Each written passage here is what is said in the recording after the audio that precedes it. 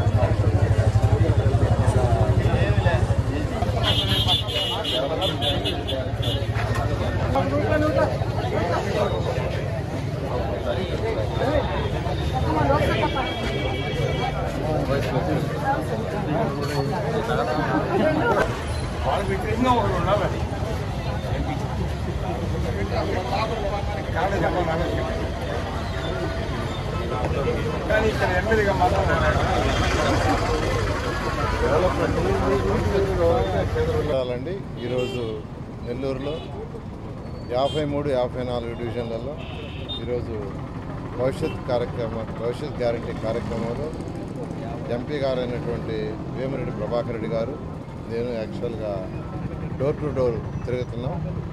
ఇప్పటికే దాదాపు ఒక నలభై దేశం ప్రభుత్వం చేసిన డెవలప్మెంటే ఆ తర్వాత ఒక ఇటుక రాయి పెట్టలేదు ఒక తట్ట మట్టేయలేదు మీరు ఆ రోజు అండర్ గ్రౌండ్ సివరేజ్ మొత్తం చేశారు దానికి కనెక్షన్స్ ఇవ్వాలా? రాంగానే ఇవ్వండి సార్ అంటున్నారు. అయితే దాని మీద వైసీపీ నాయకులు తెలిసి తెలియక తెలిసి తెలియక ఏదో మాట్లాడుతున్నారు. అండర్ గ్రౌండ్ డ్రైనేజ్ ఫెయిల్ అంటున్నారు. అసలు ఏం మాట్లాడతారు? ఏం మాట్లాడతారు? దాన్ని మెయింటైన్ చేయాలా? అండర్గ్రౌండ్ సివరేజ్ చేసిన తర్వాత దాన్ని మెయింటైన్ చేస్తే చక్కగా ఉంటుంది. పోయి ఎంతసేపు ఇక్కడే ఉంటే కాదు డెవలప్డ్ కంట్రీస్ చూడాలా? America China Japan Russia Singapore Malaysia Ashgabat. ఆ కంట్రీస్లో హండ్రెడ్ పర్సెంట్ డ్రైనేజ్ ఉంటుంది. ఒక్కటంటే ఒక దోమ ఉండదు. దోమ లేకుండా ఉండటానికి కారణం దోమలు లేని నగరం కావటానికి కారణం ఒక్కటే చేయాలంటే అండర్గ్రౌండ్ సివరేజే అంతేగాని కాలువలోకి వస్తే అప్పుడప్పుడు ముందు కొట్టి అప్పుడప్పుడు కాలువలు తీస్తే పోదు. అది టెంపరీ అది ఓన్లీ టెంపరీ అది చేయడానికి చాలా తక్కువ ఖర్చు అవుతుంది. అండర్ గ్రౌండ్ డ్రైనేజ్ చేయాలంటే చాలా ఎక్కువ ఖర్చు అవుతుంది ఐదు వందల యాభై కోట్లు నెల్లూరు శాంక్షన్ చేశారు ఆ రోజు ముఖ్యమంత్రి నారా చంద్రబాబు గారు. టోటల్ నెల్లూరు మొత్తం హండ్రెడ్ పర్సెంట్ చేయాలని దాంతో. దాని మీద ఏవేవి మాట్లాడతారు తెలిసి తెలియక. నిజంగా దారుణం. అదేమంటే నెల్లూరు మున్సిపల్ కార్పొరేషన్ మీద బర్డన పడిపోతుంది.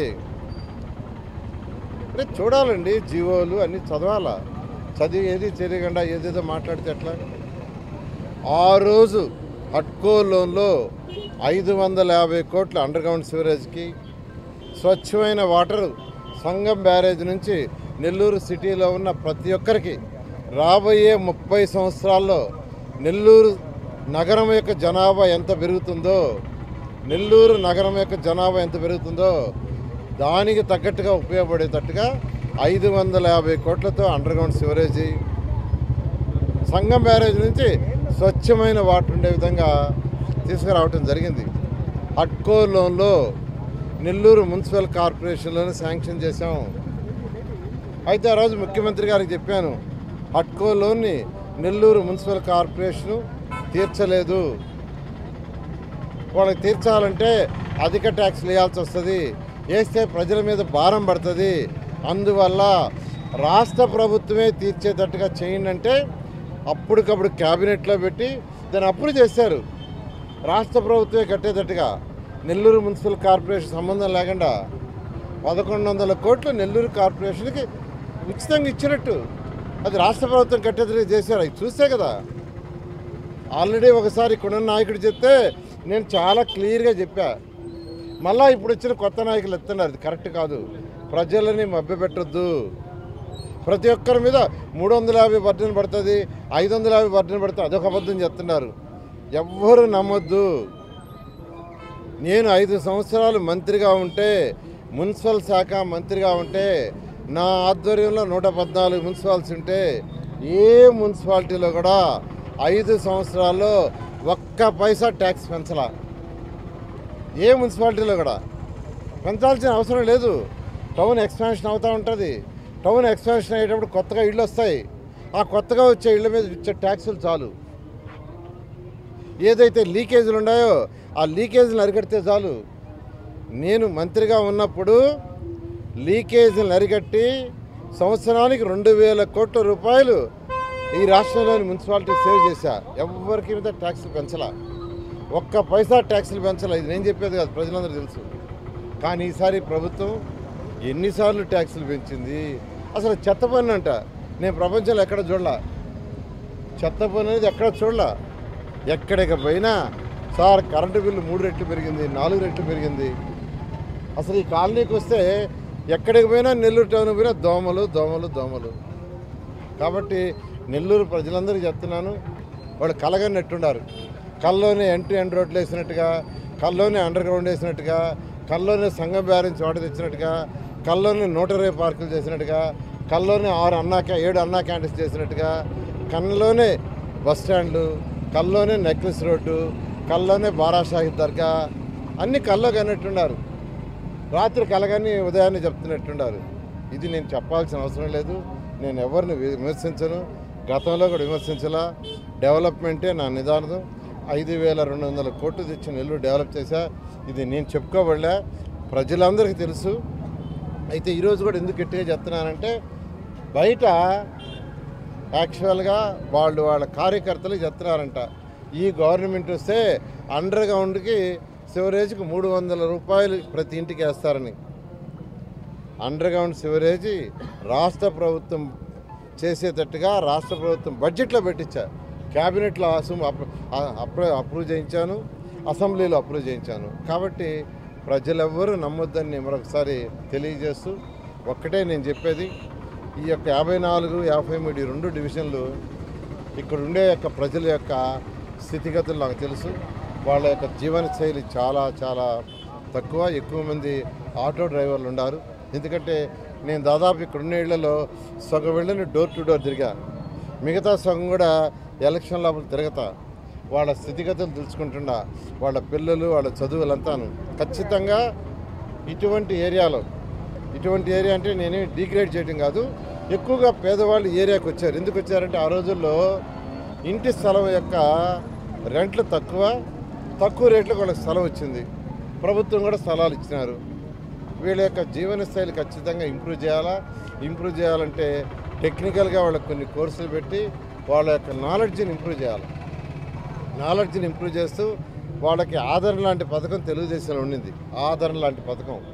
అలాంటి పథకాలని అన్ని కేటగిరీ వాళ్ళకి తెచ్చి వాళ్ళకి కావాల్సిన ఎక్విప్మెంట్ ఇచ్చి డెవలప్ చేయాలా? ఖచ్చితంగా తెలుగుదేశం ప్రభుత్వం వస్తే ఇక్కడ ఇన్ఫ్రాస్ట్రక్చర్ రోడ్లు డ్రైన్స్ డ్రింకింగ్ వాటర్ డెవలప్ చేయడమే కాకుండా వీళ్ళ యొక్క ఆర్థిక స్థితి పెరిగేటట్టుగా ప్రతి ఒక్కరి యొక్క ఆదాయం పెరిగేటట్టుగా ఖచ్చితంగా చేస్తానని తెలియజేస్తూ మరొకసారి ఎంపీగా వేమిరెడ్డి ప్రభాకర్ రెడ్డి గారిని గెలిపించండి నన్ను ఎమ్మెల్యే గెలిపించండి.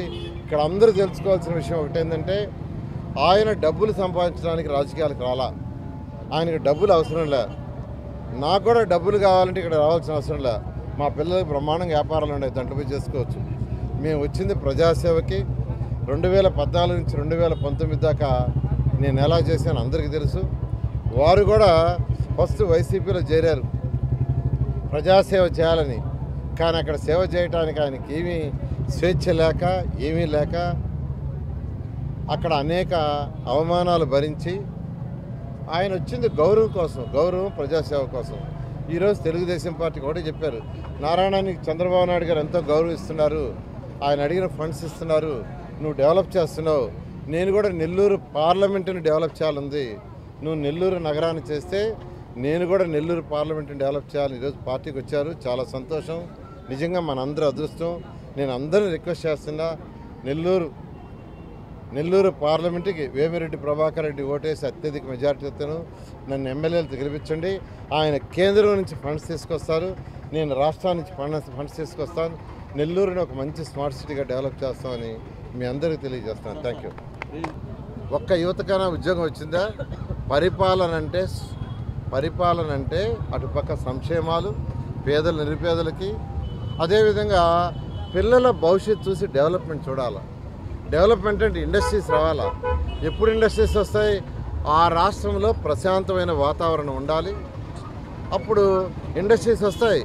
ఈ రాష్ట్రంలో ప్రశాంత రాష్ట్రం లేదు. అంత అరాచకాలు. ఎప్పుడు ఎవరిని అరెస్ట్ చేస్తామా? ఎవరు బిల్డింగ్లు పగలు పెడతామా ఎవరిని తీసుకుపోయి జైల్లో పెడతామా? ఇలాంటి వాతావరణం ఉన్నప్పుడు ఏ కంపెనీ కూడా ఈ రాష్ట్రంలోకి రాదు. ఒక్కటంటే ఒక్కటి రాలా. అన్నీ వెళ్ళిపోయినాయి. ఉన్నాయి కూడా వెళ్ళిపోయినాయి. యువతను దృష్టిలో పెట్టుకోవాలా? యువత భవిష్యత్ ఇంపార్టెంట్ ఇలాగనే జరిగితే రాబోయే ఇరవై సంవత్సరాల్లో యువతకు ఉద్యోగాలు ఉండవు. యువతకు ఉద్యోగాలు ఉండవు. ఏ తల్లి అయినా ఏ తండ్రి అయినా కోరుకునేది తన పిల్లవాడు చక్కగా మంచి ఉద్యోగం వ్యాపారం చేసుకుంటా ఆనందంగా ఉండాలని కోరుకుంటారు. వాళ్ళ ఆనందానికంటే పిల్లల భవిష్యత్తు కోరుకుంటారు. అలాంటి ఆలోచన ఈ యొక్క జ- ముఖ్యమంత్రికి లేదు. అలాంటి ఆలోచన లేదు. అదే మాజీ ముఖ్యమంత్రులు నారా చంద్రబాబు నాయుడు గారు అలాంటి దూరదృష్టితో హైదరాబాదులో మాదాపురంలో ఒక హైటెక్స్ బిల్డింగ్ కట్టాడు. ఆ రోజు అందరూ రద్దు చేశారు. అది కట్టడానికి లేదు అనేది మీదిని కానీ ఆయన చేశారు. ఆ ఒక్క హైటెక్ బిల్డింగ్తో లక్షల మంది ఈరోజు ఈ రాష్ట్రంలో ఇతర రాష్ట్రాల్లో విదేశాల్లో ఉద్యోగం చేస్తున్నారు. అది విజన్. నాయకుడి విజన్ అంటే అది. అదేవిధంగా అనంతపురంలో కేఎం మోటార్స్ పెట్టించారు. ఆ కేఎం మోటార్ పెట్టడానికి ఆ రోజు ముఖ్యమంత్రిగా ఉన్న నారా చంద్రబాబు నాయుడు గారు ఆ రాష్ట్రానికి పోయి వాళ్ళ దేశానికి పోయి ఆ ఫ్యాక్టరీకి పోయి సీఈఓలతో కూర్చొని మీరు రండి. మీకేం కావాలి? ల్యాండ్ కావాలో? ఇస్తాం. ఎలక్ట్రిసిటీ కావాలో? సబ్సిడీలు ఇస్తాం. వాటర్ ఫెసిలిటీ ఇస్తాం. రోడ్డు ఫెసిలిటీ ఇస్తాం. అన్నీ మేము చేసి పెడతాం అంటే వాళ్ళు వచ్చారు ఈరోజు అది పెట్టుబెట్టి అనంతపురంలో పదివేల మంది ఉద్యోగస్తులు దాంట్లో చేస్తున్నారు. పదివేల కుటుంబాలు బతుకుతున్నాయి. యువతకు ఉద్యోగాలు వచ్చినాయి. అది నాయకుడి లక్షణం. కానీ ఈ నాయకుడికి అది లేదు. సిద్ధం అంటే దేనికి సిద్ధం? రాష్ట్రాన్ని నాశనం చేయటానికి. ఇంకా ఆయన కానిస్తే ఈ రాష్ట్రం పూర్తిగా నాశనం అయిపోయి మరొక శ్రీలంక అవుతుంది. అందుకనే రాష్ట్రంలో ఎక్కడ పట్టినా వ్యతిరేక పవనాలు జగన్మోహన్కి వస్తున్నాయి. ఖచ్చితంగా అత్యధిక మెజారిటీ సీటుతో తెలుగుదేశం వస్తుంది. ప్రజలకి మంచి సపరిపాలన ఇవ్వడం జరుగుతుంది. Thank you. ముప్పై మూడు డివిజన్లో ఇంటింటికి తిరగడం నారాయణ గారితో ఈరోజు రావడం అంటే కార్పొరేటర్ విద్యార్థులతో మన జనసేన అందరం కలిసి ఇంటింటికి పోతే ఇక్కడ నేను గమనించింది డ్రైనేజ్ అనేది ఒక పెద్ద సమస్య. చాలామంది ఇక్కడ ఈ సమస్య సార్ని చూడంగానే వీళ్ళు ఎందుకంటే సార్ గుర్తుకొస్తున్నారు ఇప్పుడు. ఆ రోజు two thousand fourteen to nineteen ఈ డ్రైనేజ్ మీద సార్ చెప్పినట్టు చాలా శ్రద్ధ తీసుకొని హడ్కో లోన్ అని చాలా కష్టపడి లోన్లు తెచ్చి అన్నీ చేశాడు. నైంటీ పర్సెంట్ వరకు పూర్తి చేసి టెన్ పర్సెంట్ పూర్తి కాలేదని. ఇప్పుడే మేము పోయిన దాదాపు ఒక నలభై యాభై ఇళ్ళల్లో దాదాపు ఫిఫ్టీ పర్సెంట్ సార్ మా డ్రైనేజ్ మా డ్రైనేజ్. మీరు కానీ మేము పొరపాటు చేసాం మీకు వేసి ఉండాలా? మేము లాస్ట్ టైం పొరపాటు పడ్డాం. వాళ్ళు చెప్పే మాటలే నేను చెప్పేది. నేనేమి నేను కల్పించే మాటలు కావు. ఇన్న మాటలు ఇక్కడ. పొరపాటు చేసాం సార్ ఈసారి తప్పకుండా మీకే ఓటేస్తాం. మాకు ఈ డ్రైనేజ్ సమస్యలు తీర్చాలి. ఇవన్నీ మాకు చాలా సమస్యగా ఉంది ఇక్కడ. రోడ్డు హైట్ పెరిగిపోయింది. డ్రైనేజ్ వాటర్ పోవాలంటే ఎటు పోవాలో కూడా తెలియటం వల్ల అట్టుంది పరిస్థితి ఇక్కడ. దాంతోపాటు సార్ చెప్పాడు ఈ దోమలు ఇవి. సో నెల్లూరు నారాయణ గారు చేసిన అభివృద్ధి ఇట్లా కానీ ఇంటింటికి కానీ తిరిగితే తెలుస్తుంది. ఎంత కష్టపడి ఆయన వాల్యూ ఈరోజు కళ్ళతో నేను చూస్తుండా ఇంటుండా అంటే మేము బయట నుంచి వినేది వేరు. ఈరోజు నా కళ్ళతో నా చెవుతో ఇండం చూడడం వేరు. సో మన మనము దీని గురించి అయితే నేను చెప్పాలంటే సారు ఖచ్చితంగా నారాయణ సారు మనందరం గెలిపించాలా? నెల్లూరు ప్రజలందరూ మంచి మెజారిటీతో గెలిపించాలని ఆ అభివృద్ధి కూడా మీకు కనపడుతుంది. మీరు ఎంత మెజారిటీ ఇస్తారో దానికి డబల్ అభివృద్ధిలో చూపిస్తాడు సార్.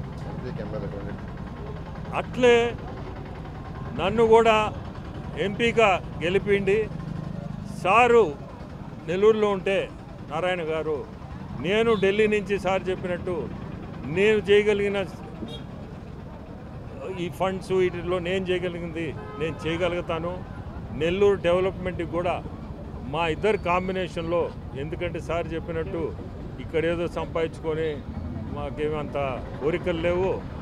ఉన్న దాంతో మనం ప్రజలకి సేవ చేస్తేనే అదే చాలా గొప్ప విషయము తృప్తి కూడా. సో మీ అందరికీ చెప్పేది ఒకటే మా ఇద్దరిని గెలిపిండి నెల్లూరు రూపురేఖలు ఖచ్చితంగా మారుతాయి. మరిన్ని వీడియోస్ కోసం ఛానల్ సబ్స్క్రైబ్ చేయండి. లేటెస్ట్ అప్డేట్స్ కోసం వాట్సాప్ ఛానల్ ఫాలో చేయండి. అండ్ లింక్ డిస్క్రిప్షన్లో ఉంది.